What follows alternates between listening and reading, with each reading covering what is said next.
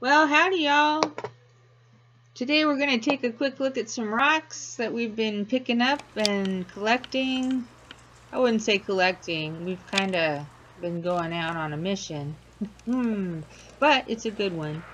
And um, these are some tiny quartz crystals that this isn't the best specimen, but um, we've been digging them up out of clay. It's a two minute walk, roughly three minute walk to where these are located. And uh, once in a while we find a little bit larger crystals. Um, I am not sure what the green mineral is or material is, but I'm going to guess copper or I don't know, but it's pretty and it really does add to the crystal. The clay is extremely difficult to get out. Uh, I'm working on getting them cleaned up better. And uh, this is just a quick video, like I said, to show you what uh, some of the stuff we've been finding. And uh, I excuse the blurriness, please. So for the most part, the vein that is back there has, it's a green vein, and sections of the green are, it's kind of like a green sand, it's not hardened or anything. And then you find a hard section that has these chunks with the quartz crystal in them. And so, and they wash up and um, some pretty neat little little pieces. So if anybody knows how to identify those or what that green is, please let me know. This here is a really dark, it's a dark purple or a burgundy colored, uh, I'm not sure what type of rock. Uh, I thought maybe jasper, but probably not. And it is non-porous and extremely smooth. When it's dry, it is more purple colored and very pretty. Um, and there's quite a bit of it up there where we go. Uh, it's a short drive up the road.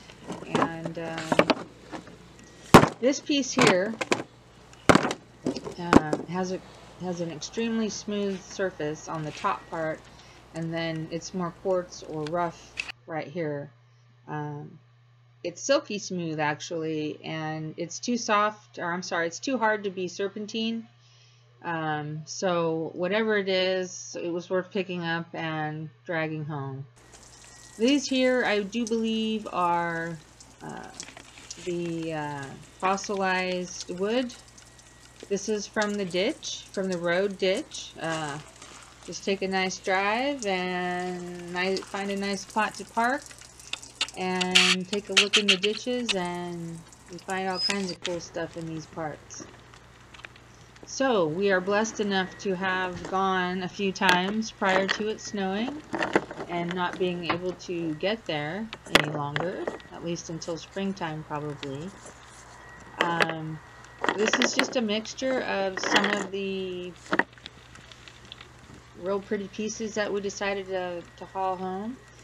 Uh, there are large chunks of quartz that we check for gold that come up sometimes and um,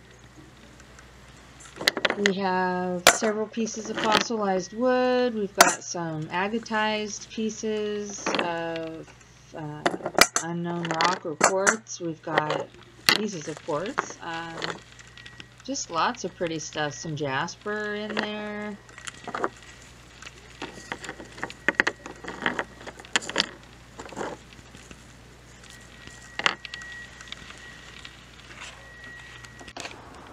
There is a cougar actually that has chased us off early.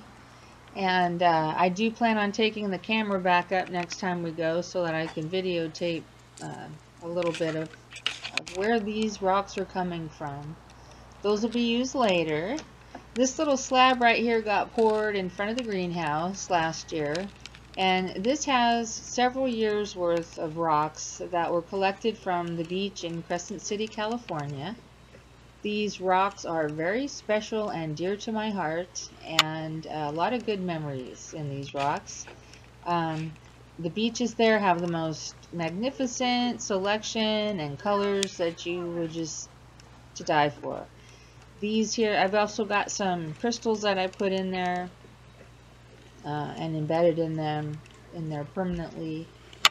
Uh, yeah, and so that's a happy little place there.